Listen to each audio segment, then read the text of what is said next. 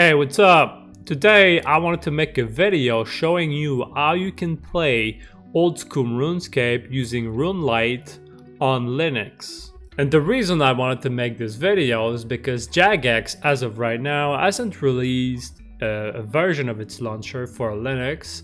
I mean, it has a version for Windows and Mac, which are the most popular and obvious operating system, but Linux is not yet available. So hopefully one day they're going to make it available for Linux, but for right now it's not available. That being said, you can play the game through Steam and RuneScape is available on Steam, but the problem by going through Steam is that you're going to use the default client and you're not able to use third-party clients like RuneLite or other things. And so in my case, my favorite old school RuneScape client is RuneLite because it has so many more features than the normal client.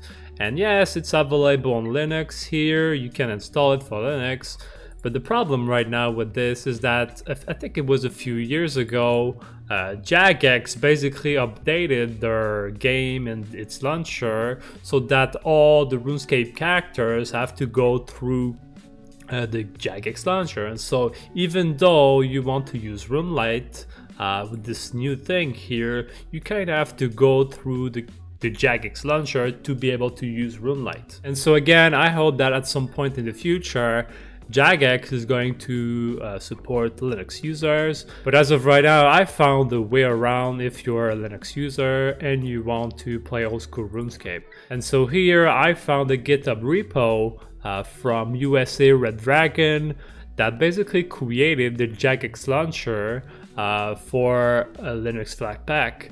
And so what you can do here is that you can basically install this Flatpak on your computer and it's going to be able to uh, run the Jagex launcher through Wine. And also you can add RuneLite to it and HDOS. I don't know HDOS, but in my case, I'm more interested in RuneLite. And to install this, there are many ways that you can do it, but in this video, I'm going to use the most uh, simple and the simplest way that you can do it using the scripted installation.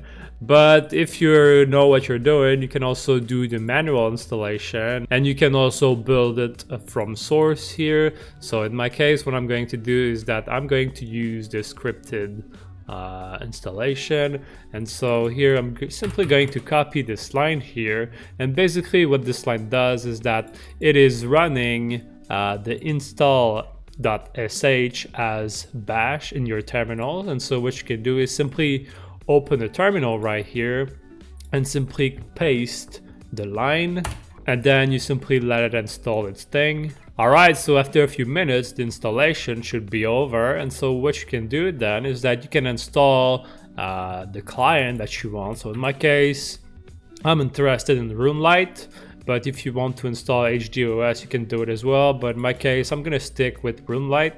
So you copy this line here and you paste it into the terminal. And so, yes. All right, so now the installation is complete. Now what you can do is that you can simply launch the Jagex launcher from uh, your operating system here.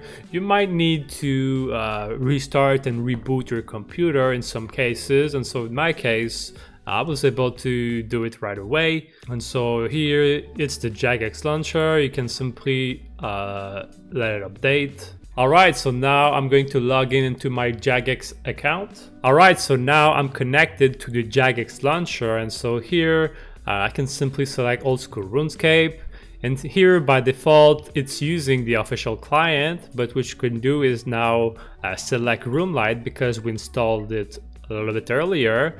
And now you can select your character. In my case, uh, this is the only character that I have, so you can hit play. Now RuneLite is also going to do its thing and update. And now here we go, I'm playing RuneScape, old school RuneScape using RuneLite and I have access to all these features for, for RuneScape. And there, there you go. And so in the end, Jagex isn't supporting yet Linux users, so hopefully at some point that's going to change and hopefully they're going to add a Linux version for its launcher.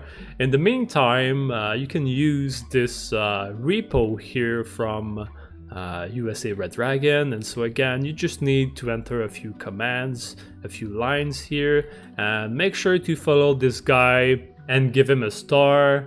And so that's pretty much it for this video. I hope that this video was helpful to you. If this video was valuable to you, you could consider liking this video and subscribing to my channel.